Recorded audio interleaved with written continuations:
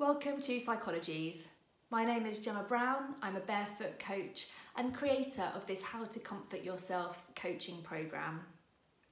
In times of uncertainty, worry, or difficult situations in life, such as experiencing a redundancy, relationship breakdowns, losing someone close to you, having an argument, or simply having a bad day, we can find ourselves reaching for unhealthy tools to help us feel better. But what if we didn't reach for food, alcohol, our devices, or even to another person? What if you knew that the comfort you needed was available within you? Over the course of four weeks, this coaching program will help you discover healthy ways to comfort and soothe yourself when you're feeling particularly triggered, overwhelmed, or anxious. This is week one of four in the coaching program, and in this short coaching video, you will explore what comfort means to you. You can access the other videos to start the course from the beginning, or you can subscribe to Psychologies magazine to access the full course, including weekly journal workbooks for the more in-depth coaching. Subscribe via the link in this video's caption. But if you're already a subscriber, head over to the Life Leap club page on the Psychologies website and register there or sign in.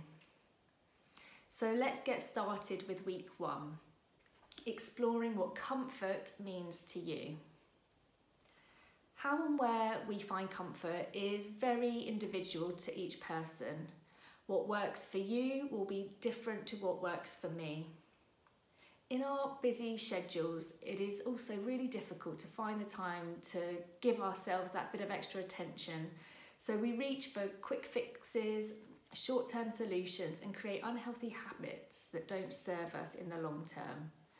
But what if you knew that the answer to finding comfort is available within you and available to access 24 7 should you need to? In this first week, we're going back to basics to find out what comfort really means to you. It can be really easy to compare our behaviours and activities with others and what they're doing, or focus on what we think we should be doing. Next, I'm going to ask you a series of questions, and so take some time to reflect on these, as it may be some time since you've given them some thought. It's also useful to have a journal or a notebook to hand to note your thoughts down and refer to at a later date. So try and leave comparisons to one side. Speak from your heart with compassion and honesty. For question one, what words, thoughts and feelings do you associate with feeling comforted? Question two, can you recall a time when you last felt comforted what was it specifically about that situation that felt comforting to you?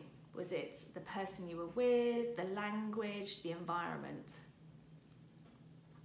Number three, in which ways do you seek out comfort? Question four, what do you do to comfort others, like close family and friends?